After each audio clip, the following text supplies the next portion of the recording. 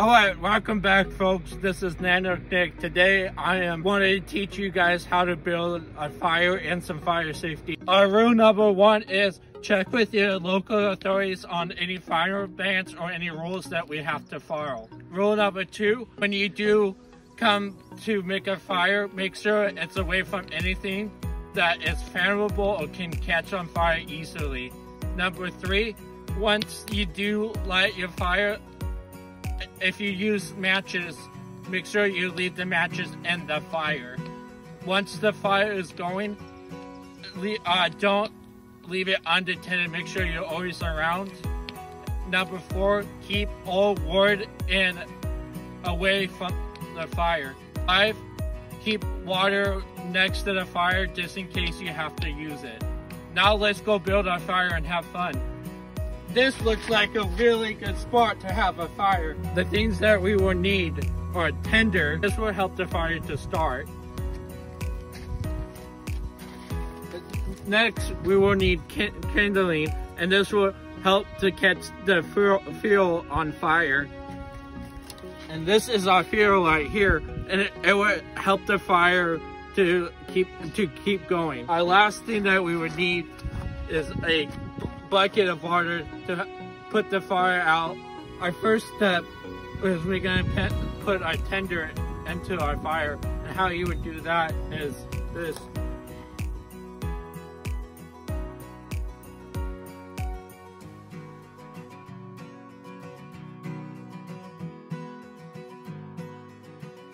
Now I'm gonna use a lighter to catch the tinder on fire and then the tinder will catch the kindling on fire and then we're going to add our fuel.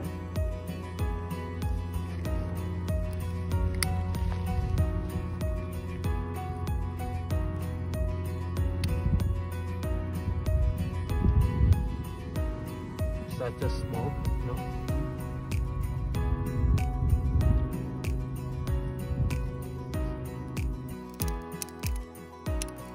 Piece of fuel on our fire.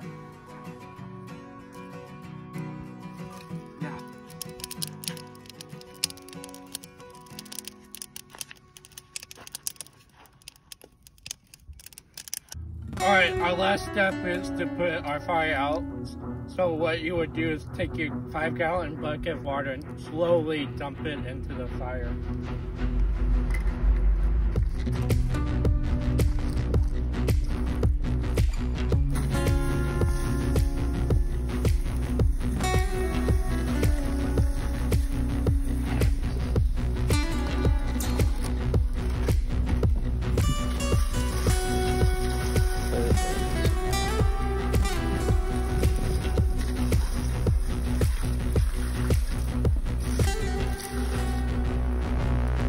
Make sure you get everything.